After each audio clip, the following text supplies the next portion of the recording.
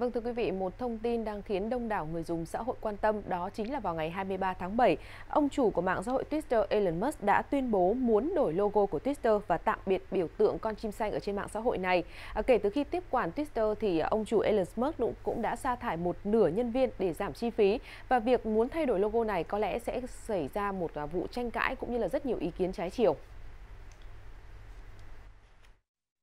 Viết trên tài khoản Twitter có 149 triệu người theo dõi hôm 23 tháng 7, chủ sở hữu tỷ phú của nền tảng truyền thông xã hội Con chim xanh cho biết nếu một logo X đủ tốt được đăng vào tối nay, ông sẽ làm cho nó xuất hiện trên toàn thế giới vào ngày mai. Elon Musk qua đó kêu gọi người dùng Twitter đề xuất các logo họ muốn. Elon Musk cũng đăng kèm một hình ảnh có chữ X nhấp nháy và sau đó trong cuộc trò chuyện âm thanh trên Twitter Space, ông trả lời có khi được hỏi liệu logo Twitter có thay đổi hay không.